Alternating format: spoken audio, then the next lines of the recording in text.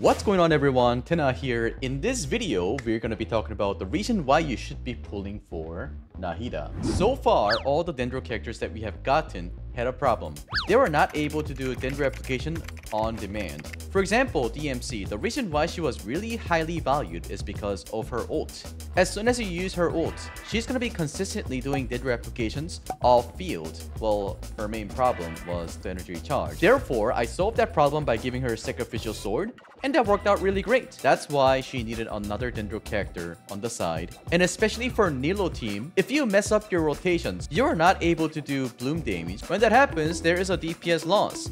And Nahida is going to fix that. Not only that, but also she can be in many other teams. I'm going to be showcasing two teams well, obviously, first one is Nilou team because I always thought Nilou team was kind of not complete. And the next team is going to be the Aggravate team. So without explaining all those skill description first, I'm gonna do a showcase and walk you through how she works in a team and why you should be pulling for her. It's been a while since we got a character where I can just say something like, yo, you should pull her, you know? So I'm very excited. Without further ado, let's get into it right away. Okay, so Nilou E three times. Dendro, DMCQ. Do this. Put down the jellyfish. Nahida Q. Use E. Swap out right away. Can heal your characters. Dodge all that. Because Nahida is relatively squishier compared to other characters here.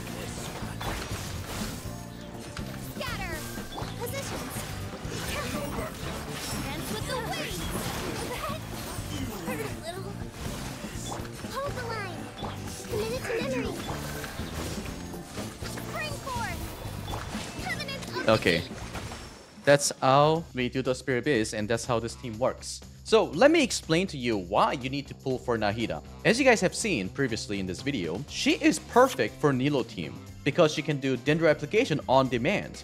However, if you take a look at her E skill, you'd be very surprised. When she just taps her E, she does Dendro damage up to 8 opponents around you, and then when you do a hold E, you can aim at the monsters, you can mark up to 8 enemies, and then obviously when you're doing this, your resistance to interruption gets increased. And then, when you release your E skill, then you do Dendro damage. However, after that, all the marked enemies within certain amount of distance are all connected. And then if you trigger elemental reactions to those enemies who are linked, Nahida will do Dendro damage based on her attack and elemental mastery. And that is called Tri-Karma. You have to remember this, okay? So this is our Q. We have seen our Q from the demo videos where everyone was like, wow, that is so beautiful. I think so too. It makes me feel like I have a house.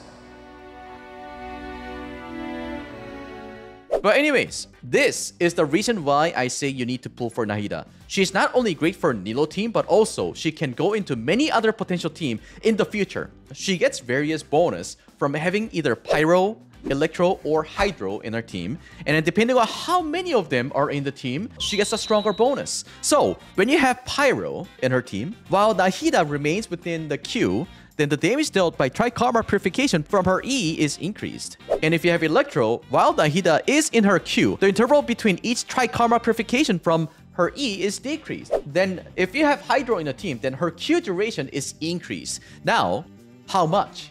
Here it says at level 6, if you have one Pyro, it increases by 20%. And if you have two Pyro characters, 31%.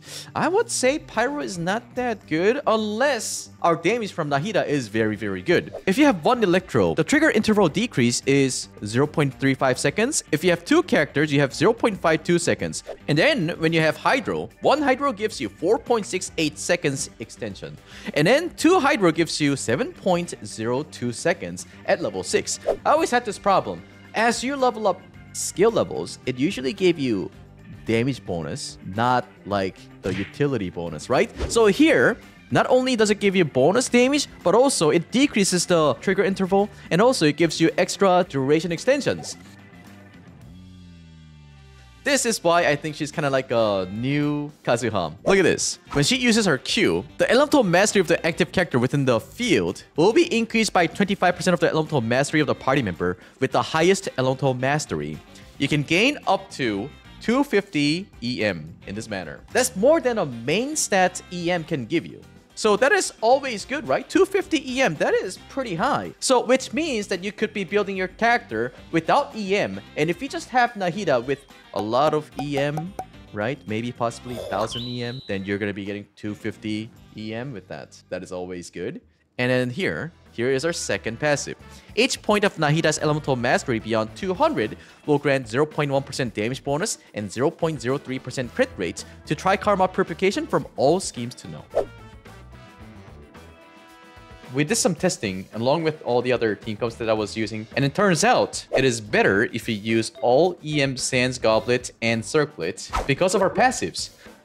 So if you do have those EM Sands, EM Goblet, and EM Circlet with a lot of hits, that's how you would be building Nahida. The amount of damage that she helps you do is so crazy. I'll show you in the next video. All right, let's talk about her best in slot weapon. This is a very long description, so uh, think about it like this. If there's Nahida, and if there's Dendro elements, for example, you have DMC, then you get 32 EM. If they have a different element other than Dendro, because we're using it on Nahida, you're getting 10% of the damage bonus of your character type. And because you can have four characters in a team, besides Nahida, you can have three stacks because Nahida doesn't count. And on top of that, everyone is getting 40 EM besides Nahida. And this can be stacked.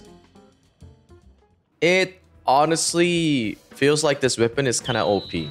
However, Nahida is still gonna be great with F2P weapons like Skyward Atlas. You could also be using Memory of Dust if you wish. I wouldn't though. Just anything that actually helps you get more EM or attack, that's gonna be good. So don't worry too much just because you don't have her best in slot weapon. She's not like Nilou. It is not required. But this weapon seems to be too good. So in this video, we're gonna be using this weapon. Now that we know her skill kit, why don't we go ahead and take her into the aggravate team and see how she works as a main Dendro DPS.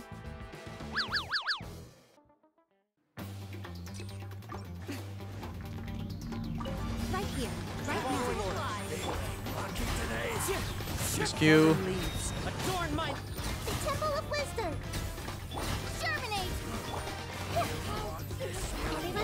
Do this. Take a picture.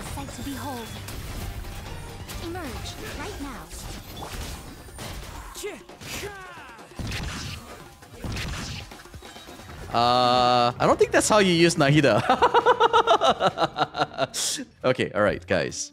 We have too many options to choose from. First, we have Yae Miko that scales off of EM, mostly her attack, but EM is going to work as bonus, right? So Nahida, Yae Miko is always a plus, so we want to keep Yae Miko in the team. Two, we could be using Raiden Shogun, but she's also an on-field character for 7 seconds after she gets her Q right, so that is also weird because she doesn't need energy recharge. Same thing with Yae Miko, so I would say Raiden Shogun is not the good character. If I were to put Cyno, he doesn't have a good synergy with Yae Miko because she doesn't create too much particles, so Cyno is not it.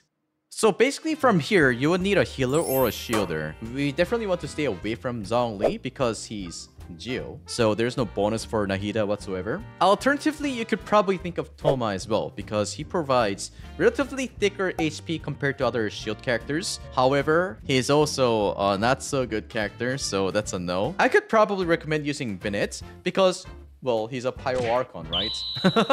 he can do damage, he can heal, he can also apply Pyro on demand almost if you have C6 as always. And then lastly, because we have a healer, we could possibly be using Xingqiu or Yelan so that they're going to be doing all-field damage. So therefore, we can conclude that she is not a niche character. But before we say anything about this team, we should probably move on and just do a showcase, okay? We'll see how this team works.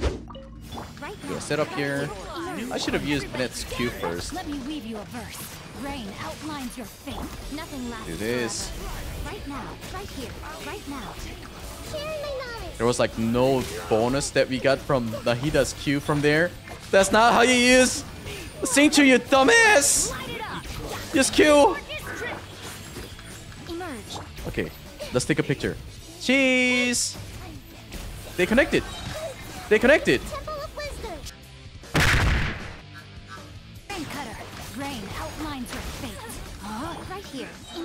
Keep the turret up. Take a picture. Oh. Oh. I like. Wait, what am I doing? Oh my god, I almost died. No? Woo! Very fun team.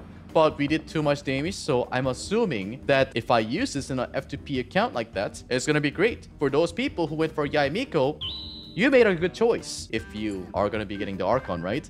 Okay, what do you guys think about Nahida?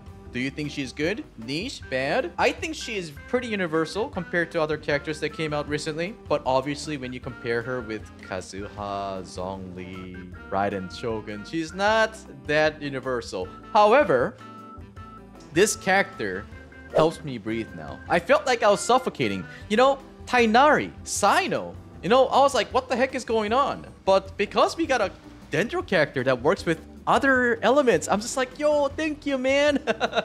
Let me know in the comment section what you think about Nahida. And if you found this video helpful, make sure you leave a like and subscribe to my channel with notifications on. And I will see you guys in the next one. Adios.